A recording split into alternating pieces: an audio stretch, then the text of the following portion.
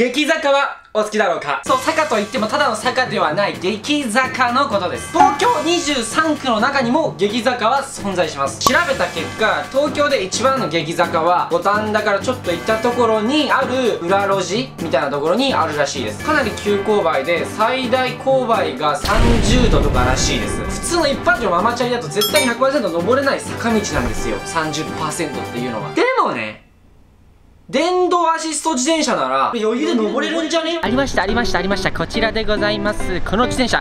皆さん見たことないでしょうか？これね僕も存在してたんですけど、まあ、乗ったことないよね。都内の中心でしかやってない。一番近いやつで借りながら激坂まで行きたいと思いますさあ来ました伝説の坂道。ビデオじゃ伝わりにくいんですけどさっきのねファミマの人に聞いたらここまだ4丁目で6丁目じゃない。ここを上がった先に幻坂と言われている都内屈指のナンバーワンの激坂があるようです。激坂を象徴すると言われてるこれはい丸いやつねこれ。坂が急すぎるとさ雪が降ったりした日とか登れないじゃないですか。その滑り止めとしてこういうの丸いのが作られてるんですね。これがあるイコール激坂ということ。うわうわマジかマジかマジかマジか。うわうわ。これだ。やべえぞこれは。さっきのと比較にならない。ということでちょっとこれ横から来ちゃってるから一回下降りて一番下から行きたいと思います。え？え？何これ？30度どころじゃなくね？45度ぐらいあるよこれ。え？ー、すぐじゃこれ。これは聞いてない。さあ電動アシスト自転車激坂チャレンジでございます。さあここはいけるよね。第一難関いきます。3 2 1助走ゼロ。おおおおおおあ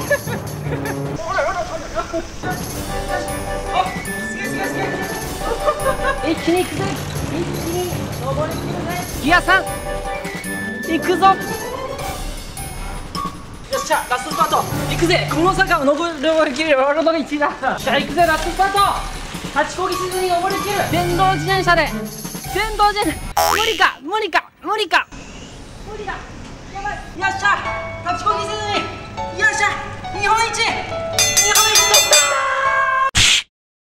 た立ちこぎせずに。電動自転車で登り切りました。電動自転車勝利。皆さんの地元はもっと激坂とかあるんでしょうか？ねもしあったら教えてください。って思ったんだけどさちょっと待って。記事になかったとこがあったの。いやおかしいぞって途中あったでしょ。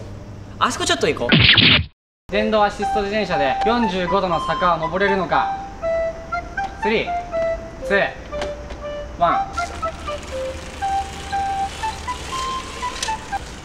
いや、これは無理。これは無理。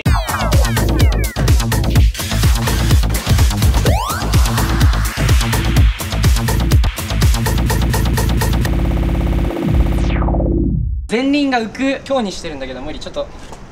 えもう一回やらして。前輪が浮いちゃったから前体重でやるわ。